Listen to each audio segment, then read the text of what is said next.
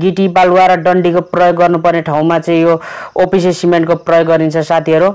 बालुवा मात्र मिसाएर प्रयोग गर्नुपर्ने ठाउँहरूको घरको प्लास्टर गर्न इट्टाको गाह्रो लगाउने लगायतका कामहरूमा चाहिँ यो पिपिसी सिमेन्टको प्रयोग हुन्छ साथीहरू। तर गाह्रो लगाउँदा ओपिसी सिमेन्टको प्रयोग गरियो भने पछि गाह्रोमा चिरा परेको जस्तो देखिने समस्या हुनसक्छ। उत्पादन भएको मितिले दुई महिनाभित्र प्रयोग गर्न सक्नुपर्छ सिमेन्टलाई। र यो सिमेन्ट खरिद गर्दाखेरि यसको मिति हेर्ने तरिका पनि अलिक फरक छ। सतहत्तर अनि आठ लेखेको छ भने दुई हजार सतहत्तर सालको आठौँ हप्तामा बनेको भनेर बुझ्नुपर्ने हुन्छ। यसलाई एकैपटक धेरै चाहिँ सिमेन्ट खरिद गरेर ल्याइयो भनेदेखि त्यसलाई प्रयोग गर्नलाई ढिलाइ हुँदै जाँदाखेरि चाहिँ त्यसको स्ट्रेन्थ कमजोर हुँदै जाने यो ओसिलो ठाउँमा राख्यो भनेदेखि त्यो भित्रभित्रै डल्ला पर्न थाल्छ र त्यसले चाहिँ काम नगर्ने जस्तो क्षमता जति हो सिमेन्टको त्यो अनुसारको काम नगर्ने समस्या हुन्छ। गोदाममा चाहिँ त्यत्तिकै लापरवाही तरिकाले राखिएको सिमेन्ट चाहिँ हामीले खरिद गऱ्यौँ भने त्यसले जति डेट चाहिँ जति नै नयाँ डेट भए पनि त्यसले जति काम गर्नुपर्ने हो जति बलियोसँग काम गर्नुपर्ने हो त्यो नगर्ने सक नमस्ते साथीहरू गुरुकुल नेपाल युट्युब च्यानलमा यहाँहरूलाई हार्दिक स्वागत छ। घर अफिस बनाउन होस् अथवा आय आर्जनका निमित्त कुनै व्यावसायिक परियोजना सञ्चालन गर्न होस् जीवनमा हामी प्रत्येक व्यक्तिले कुनै न कुनै रूपमा सिमेन्टको प्रयोग गर्नु नै पर्ने हुन्छ। जब हामीलाई सिमेन्ट आवश्यकता पर्छ तब कुन सिमेन्ट राम्रो होला सिमेन्ट खरिद गर्नु अगाडि के के कुरामा ध्यान दिनु पर्ला सिमेन्ट कति प्रकारका हुन्छन्? सिमेन्ट प्रयोग गर्दाखेरि के कस्ता कुराहरूमा ध्यान दिनुपर्छ? लगायतका कुराहरूको जानकारीको अभावमा समस्यामा पर्ने गर्छौँ।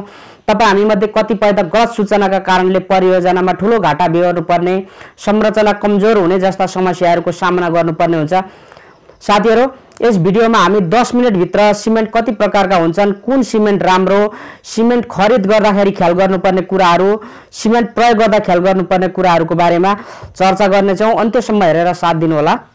साथीहरू सिमेन्ट के काममा प्रयोग हुन्छ यो सिमेन्ट कस्तो हुन्छ भन्ने बारेमा त साथीहरूलाई जानकारी नै छ। यो सिमेन्ट भनेको चाहिँ क्याल्सियम सिलिकेट र क्याल्सियम एलुमिनेटको सम्मिश्रणबाट तयार गरिन्छ र यसलाई पाको गुण भनेको चाहिँ पानीमा यसको पानीको सम्पर्कमा आएपछि यो पत्थर जस्तो कडा पदार्थ बन्दछ र यसलाई हामी निर्माणको कार्यमा प्रयोग गर्ने गर्छौँ र सिमेन्ट चाहिँ मुख्य गरी चुनढुङ्गा र अन्य आवश्यक पदार्थहरूको प्रयोगबाट तयार गरिन्छ।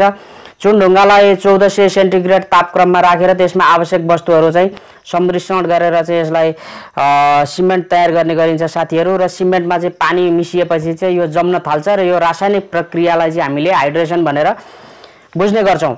सिमेन्ट विशेष गरी अहिले संसारभरि प्रयोगमा आइरहेका सिमेन्टहरू करिब करिब पन्ध्रभन्दा बढी प्रकारका सिमेन्टहरू प्रयोगमा आइरहेका छन्।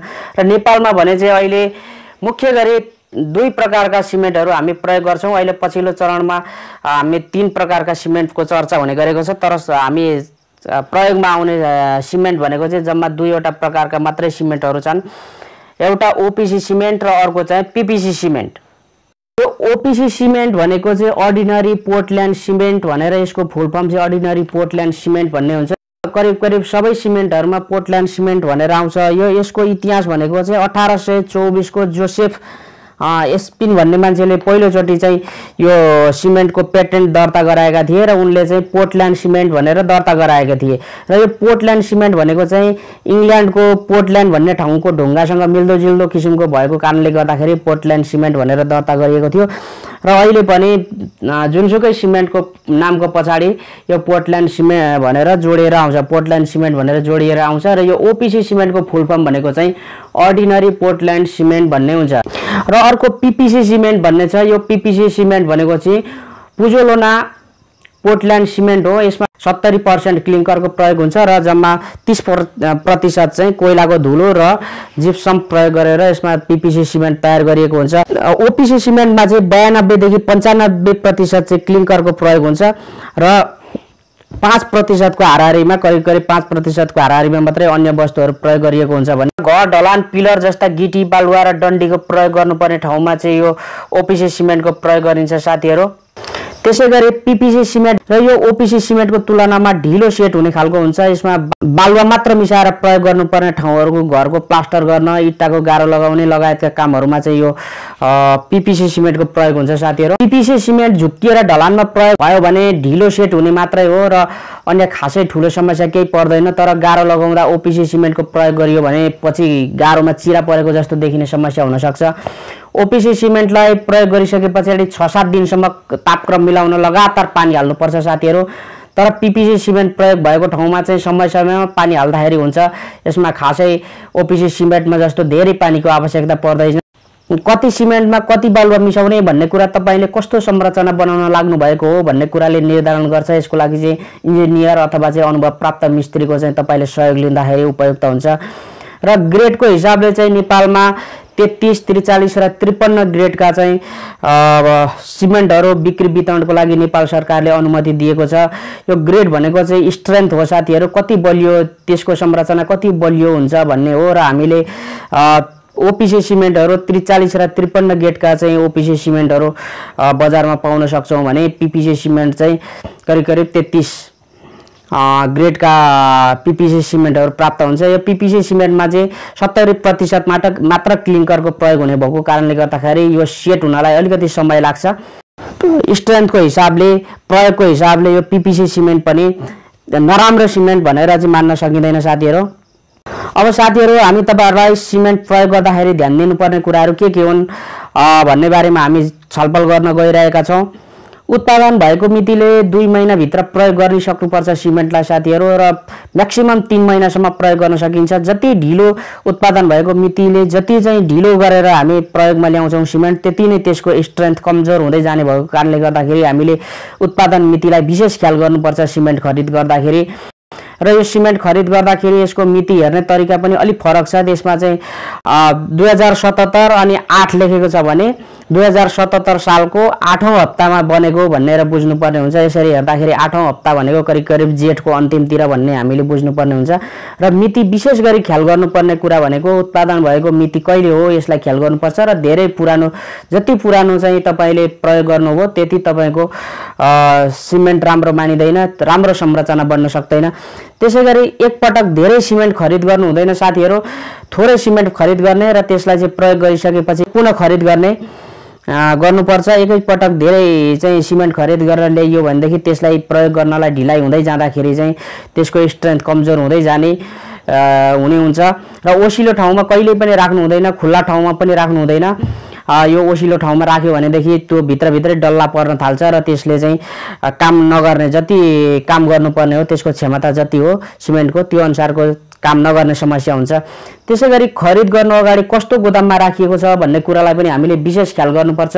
सिमेन्ट चाहिँ अब भुइँमा चाहिँ काठ ओछ्याएर अनि माथिबाट चाहिँ त्रिपालले ओढाएर एकदम सुरक्षित साथ राखिएको छ कि छैन भनेर ख्याल गर्नुपर्छ। कहिलेकाहीँ गोदाममा चाहिँ त्यत्तिकै लापरवाही तरिकाले राखिएको सिमेन्ट चाहिँ हामीले खरिद गऱ्यौँ भने त्यसले जति डेट चाहिँ जति नै नयाँ डेट भए पनि त्यसले जति काम गर्नुपर्ने हो जति बलियोसँग काम गर्नुपर्ने हो त्यो नगर्ने सक्ने सम्भावना हुन्छ।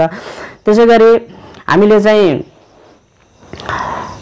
सिमेन्टलाई प्रयोग गर्दाखेरि फोहोर पानीको प्रयोग गर्नु हुँदैन। साथीहरू पिउन योग्य सफा पानीको प्रयोग गर्नुपर्छ। जब हामी फोहोर पानी प्रयोग गऱ्यौँ भने त्यसले चाहिँ जति स्ट्रेन्थ दिनुपर्ने हो त्यो स्ट्रेन्थ नदिने सम्भावना त्यत्तिकै रहन्छ। त्यसै गरी च्यातिएको पल परेको बोरामा राखिएको सिमेन्ट प्रयोग गर्नु हुँदैन। त्यसमा चाहिँ हामी पानीको बाफ लगायतका ओसिलो पदार्थहरू भित्र गएर त्यो सिमेन्ट डल्ला परिसकेको हुन्छ। त्यसले चाहिँ त्यो एक किसिमले काम नलाग्ने भइसकेको हुन्छ त्यो सिमेन्ट। त्यस कारणले गर्दाखेरि च्यातिएको छ अथवा सिमेन्टको बोरा पाल परेको छ भने त्यसलाई चाहिँ तपाईँहरूले प्रयोग गर्नु हुँदैन। त्यसै गरी माटो मिसिएको गिटी बालुवा प्रयोग गर्नु हुँदैन साथीहरू। यदि गिटी बालुवा चाहिँ एकदम माटो मिसिएको छ त्यसमा भनेदेखि त्यसले चाहिँ राम्रोसँग सेट नहुने र भोलि चाहिँ गाह्रो चिरा पर्ने अथवा पानी चुइने लगायतका विभिन्न समस्याहरू देखा पर्न सक्ने हुन्छ। यसै साथीहरू अर्डिनरी पोर्टल्यान्ड सिट सिमेन्ट अथवा ओपिसी सिमेन्ट चाहिँ चुन ढुङ्गालाई चौध सय डिग्री डिग्री सेन्टिग्रेडमा पकाएर त्यसमा विभिन्न पदार्थहरू मिसाएपछि क्लिङ्कर बन्दछ र नेपालमा सामान्यतः त्रिचालिस ग्रेडको ओपिसी सिमेन्ट प्रयोग गरिन्छ। अग्ला भवन टावर जलविद्युत परियोजना बनाउन त्रिचालिस र त्रिपन्न दुवै ग्रेडको सिमेन्टहरू प्रयोग गर्ने गरिन्छ। पिपिसी सिमेन्ट चाहिँ त्यसलाई चाहिँ हामीले पिपिसी सिमेन्टको फुल फर्म भनेको पुजोलोना पोर्टल्यान्ड सिमेन्ट भन्ने हो। यो सत्तरी प्रतिशत क्लिङ्कर र पच्चिस प्रतिशत कोइलाबाट निस्केको धुलो र पाँच प्रतिशत चाहिँ जिप्सम प्रयोग गरेर पिपिसी सिमेन्ट तयार गरिन्छ। यसमा क्लिङ्करको मात्रा कम हुने भएको कारणले गर्दाखेरि सेट हुन अलिकति समय लाग्छ साथीहरू। र हामीले आज यो भिडियोमा चाहिँ छोटकरीमा तपाईँहरूलाई सिमेन्टको उपयोगिता सिमेन्ट कस्तो सिमेन्ट राम्रो कुन सिमेन्टलाई कहाँ प्रयोग गर्ने र यसमा चाहिँ किन्दा खरिद गर्दाखेरि र यसलाई प्रयोग गर्दाखेरि ध्यान दिनुपर्ने कुराहरू के के हुन् भन्ने बारेमा छोटकरीमा चर्चा गऱ्यौँ। र यदि तपाईँलाई यस सम्बन्धी कुनै नबुझेको कुराहरू छ भनेदेखि कमेन्ट गर्न सक्नुहुन्छ साथीहरू र आगामी दिनमा पनि यस्तै किसिमका नयाँ नयाँ भिडियोहरू हेर्नको लागि हाम्रो युट्युब च्यानल गुरुकुल नेपाललाई सब्सक्राइब गर्न नभुल्नुहोला। धन्यवाद।